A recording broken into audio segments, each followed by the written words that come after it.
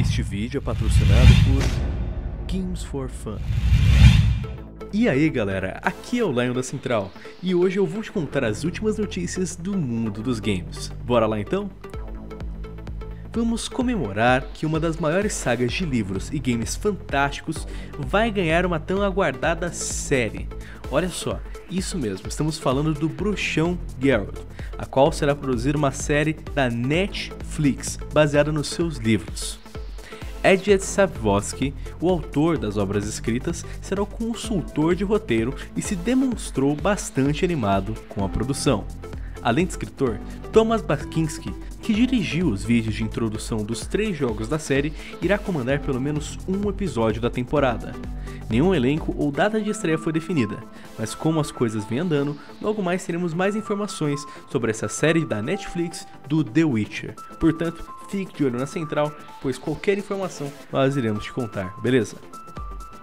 Logo logo Destiny 2 vai sair, e o Funko não perdeu tempo em entrar no clima para anunciar uma nova linha de bonecos pop baseadas nos personagens do jogo. Serão lançados nos Estados Unidos, porém sem uma data definida. Dentre os personagens, a coleção reunirá Cade 6, Lord Sax, Ikora, Zavala, Oryx, Zur e Atheon, exclusivos na GameSpot, enquanto as versões brilhantes e grandes de Crota serão apenas na Target. Portanto, se você é fã da linha de bonecos pop, fique de olho e já se prepare para comprar as suas figuras. Vocês se lembram do projeto de animação de League of Legends? Então, saiu mais uma animação fresquinha, só que dessa vez está trazendo Zed em seu próprio habitat, as sombras. Dessa vez, vemos o ninja sombrio liquidando diversos oponentes, que até tentam revidar, mas não se equipararam com a habilidade do ninja. Em um estilo mais rascunhado, este traz muitas linhas de ação e ângulos bem diversos. Ficou muito legal, galera. É só dar uma olhada, olha só. E LoL também teve uma atualização que há muito tempo era aguardada por seus jogadores. Finalmente, será possível silenciar os sinais, também conhecidos como pings, tanto os emitidos pelo jogo como por outros jogadores. Além disso, também será possível se render um pouco mais cedo. A partir de agora, a rendição pode ser feita aos 15 minutos para todos os modos fixos do jogo. Após sofrer inúmeros atrasos desde seu anúncio, é bem possível que South Park, a fenda que abunda a força, saia em breve. A Ubisoft lançou um trailer e ainda uma data oficial para o seu lançamento. O trailer mostra um pouco da gameplay e dos poderes que o novo garoto poderá utilizar, incluindo, é claro, seus gases. Neste jogo, os super-heróis terão de unir forças com o novo garoto e a sua bunda mágica para deter as ameaças do mal. South Park, a fenda que abunda força, será lançado em 17 de outubro para PlayStation 4, Xbox One e PC. Fique de olho na central. E para quem é fã de Pokémon, uma novidade. Para os usuários de iOS, saiu o jogo Pokémon Magikarp Jump, mas infelizmente só foi para os usuários italianos. Com uma pegada bem semelhante a Neko Atsumi, aquele aplicativo de alimentar gatinhos que foi uma febre alguns anos atrás, Magikarp Jump te fará cuidar desse Pokémon e montar a sua coleção de carpes coloridos. Também será possível decorar o aquário e atrair outros Pokémons para te auxiliar na tarefa de capturar todos os Magikarps. Levando em consideração a forma como o Pokémon GO foi lançado, é bem provável que Magikarp Jump seja logo liberado mundialmente em breve. E para quem é fã da Terra-média, a Warner Bros. Games divulgou um novo trailer da Terra-média, Sombras da Guerra, que mostra um mundo nada pequeno que cruzaremos no jogo. O trailer também mostrou muitas habilidades de Telion, além de seu dragão, que poderíamos utilizar para atacar fortes inimigos.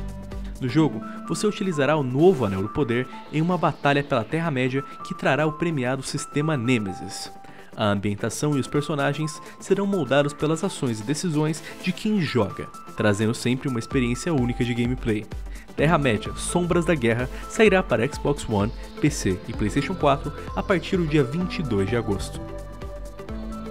E para quem curte jogar um jogo de futebol virtual, a Konami divulgou o primeiro teaser de PES 2018, com jogadas do Barcelona e destacando bastante o nosso Neymar.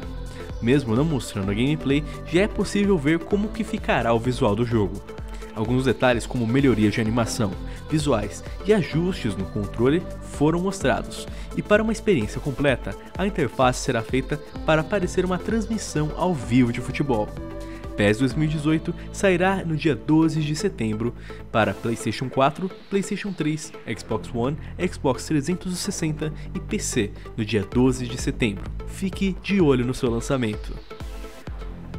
E para finalizar, Overwatch já nos proporcionou diversos momentos de felicidade com suas animações, heróis, modos de jogo, mapas e até mesmo na Copa do Mundo. E isso foi só no seu primeiro ano.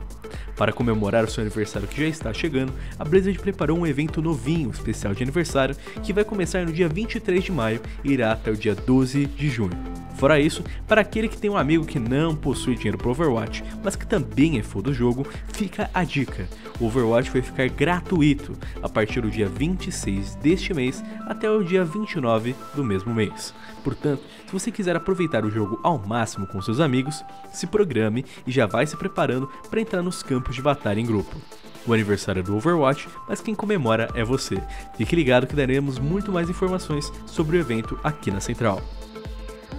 Galera, essas foram as últimas notícias do dia. Se você gostou, não se esqueça de deixar o seu like, comentar e compartilhar essa notícia com os seus amigos. Cheque as nossas redes sociais e não se esqueça de clicar no nosso sininho de notificações para não perder nenhum dos nossos uploads da central.